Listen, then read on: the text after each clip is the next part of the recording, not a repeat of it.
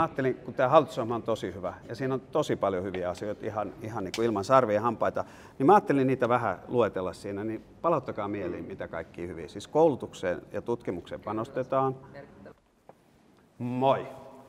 Keskiviikkoiltana kattelin Maikkarin uutisia ja siellä puhuttiin hallituksesta. Sanottiin suorasukaisesti, että hallitukseen osallistuvat puolueet ovat populistipuolueita. Kerrottiin, että ne yrittävät lunastaa antamansa hulvattomat vaalilupaukset. Kerrottiin, että se maksaa valtavasti ja että niitä rahoja ei ole ja että sen takia joudutaan aivan liian kovan velkaantumisen tielle. Kyse oli siis Italian hallituksesta. Mutta palataan Suomeen.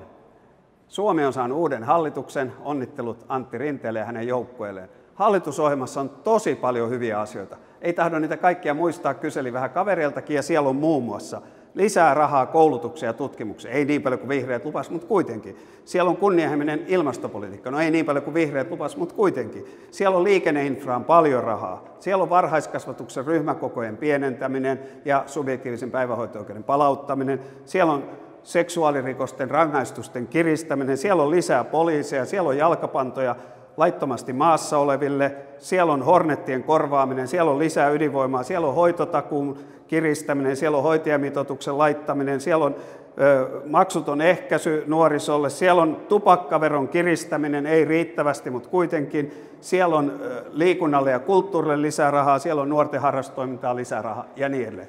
Eli tosi paljon hyviä asioita on tuossa hallitusohjelmassa. Mutta, nyt tulee se mutta. Hallituksen tulopuoli on hiekalle rakennettu, niin kuin Petteri Orpo jo sanoi. Eli pitkälti tämä hallitus aikoo rahoittaa nämä ja lukuisat muut hyvät asiat sillä, että se ei ole varannut varsinaisesti rahaa, mutta kun työttömyys paranee, 75 prosenttiin tulee työllisyysaste, niin sitten sitä rahaa on pari miljardia laittaa. Näkis vaan. Hallitus on sopinut, että budjettiriihessä syksyllä 2020 katsotaan, että työllisyystoimista noin puolet on saatu liikkeelle, ja ellei ole saatu, niin sitten kuulemma näitä menoja katsotaankin uudelleen. No näkis vaan. En ikinä usko, että tämä hallitus, joka on antanut kaikki nämä lupaukset kaikille eri tahoille, että se pystyisi oikeasti lähteä karsimaan näistä hyvistä asioista ne, joihin todella olisi rahaa toteuttaa ne. Ja sanon, että silloin syksyn 20 budjettiriihessä, silloin hallituksen veri punnitaan. Eli silloin me nähdään, onko hallitus valmis vastuulliseen talouspolitiikkaan, valmis katsomaan menoja uudelleen, kun tulot ei riitä, vai yrittääkö se jotain silmäkääntötemppuja, joka käytännössä tarkoittaa huikeaa, kovaa vauhtia tapahtuvaa lisävelkaantumista. Okei, ei ekonomistit uskonut siihenkään, että Sipilän hallitus pääsee työllisyystavoitteeseensa.